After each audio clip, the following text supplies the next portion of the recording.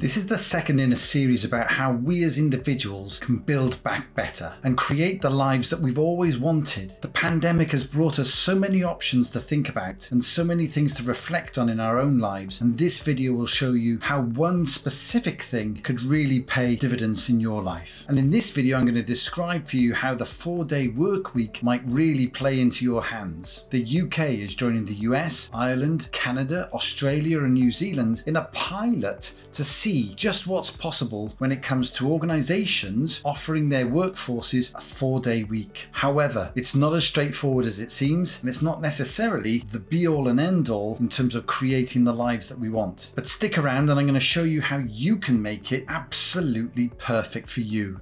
So, Four Day Week Global has teamed up with Cambridge and Oxford universities and Boston College to put together a trial with about 30 organisations across the UK of four day working. I love it. You have to work less hours, but you get the same amount of money. What's not to like? Well, dig a little deeper and you start to see it's maybe not as brilliant as it sounds. Still not bad though. You have to work 36 hours to get the pay of five days. So if you think about it, most contracts are either 38 and a half or 40 hours a week. So 36 is not a massive reduction, but it's enough for people to say it's a four day work week. And essentially what they're saying is it's all about focusing on productivity. So they want 100% productivity out of you across those 36 hours and they'll pay you a full working week wage. That wasn't easy to say. A full working week wage. there you go.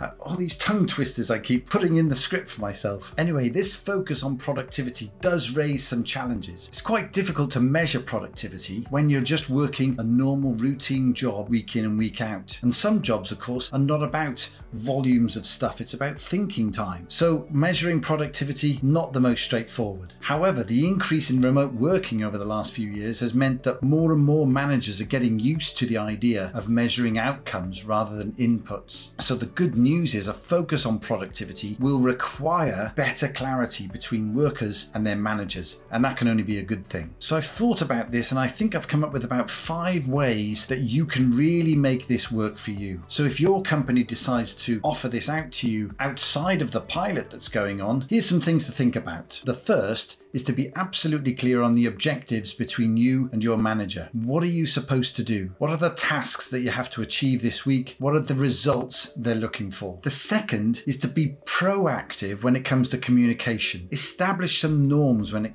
comes to communication. Reach out to your manager frequently. Don't wait for them to just talk to you. What you're trying to achieve is a level of assurance where they feel confident that you've got the deliverables in mind and you're on track. The third one is to resist meetings at all costs. Now, there are some meetings that are absolutely essential, but there are an awful lot more that are a complete waste of your time. And if you're going to be productive, you want to avoid anything that's going to suck the life out of you and ensure that you just get further and further behind. But the fourth one is probably the biggest opportunity for you if you're thinking about proposing something like a four day week, and that is create your own schedule. Now, there will be things that are set pieces through the week that you and your team need to do together, but beyond that, you decide when you're going to work. That's the whole point of this. If you're only focused on the outcomes, the things that you've got to deliver, it means you don't have to worry so much about the time that you start work the time that you finish, the specific breaks that you take. As long as you can get the work done, then create your own schedule. Start to fashion the life that you really want. The next one is more about mindset and it's more about seek responsibilities. It's very easy when we've got remote working put in place or we're remote from our manager and the rest of our team. It's very easy to fall into routines that essentially mean you're just doing what gets presented to you. The mindset of a change maker is the person who wants to go go the extra mile, the person who wants to take on extra responsibility because they know it will help them,